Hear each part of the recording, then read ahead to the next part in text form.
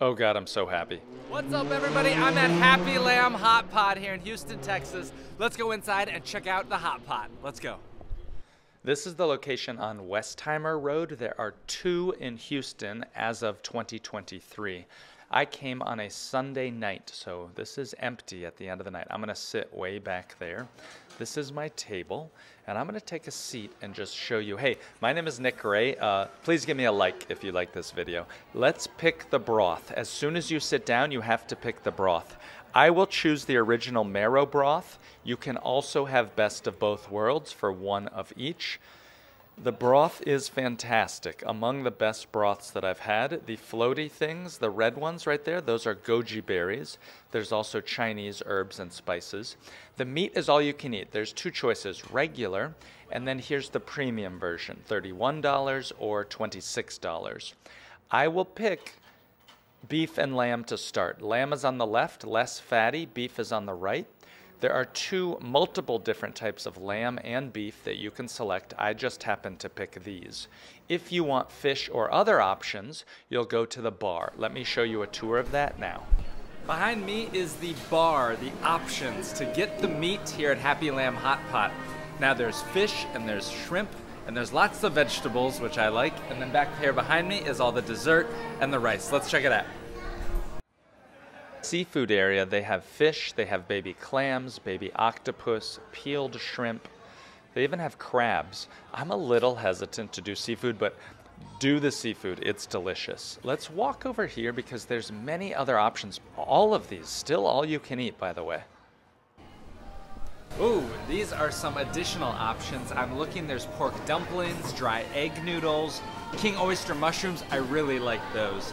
Lamb tripe, lobster balls, so many, take a look. These are just another example of how Happy Lamb does a very good job of including many different ingredients. Tempura, beef tripe, fish balls, mini pork sausages, you can pick anything from over there, but then I really like to come to the mushrooms. One suggestion is I wish they did have more mushrooms. These are other vegetables. These need to sit and marinate and soak in your broth a little longer. There's some tofu, as you can see, broccoli, which is fantastic. Let's check the other end. As we go over, I showed you the seafood already, but see all those greens over there?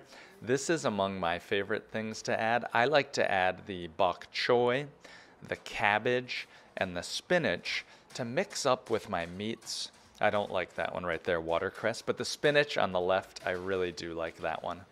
As we come over to this other area, again, this was the end of the night Saturday, so they've removed, no, sorry, Sunday. They've removed some things, but I asked them for rice and they were happy to bring it to me. No charge. This is very important. This is the sauce bar. The sauce bar is how you will mix your dipping sauces to dip your meat. There's also some oranges. When do people use oranges? Let me know there in the comments.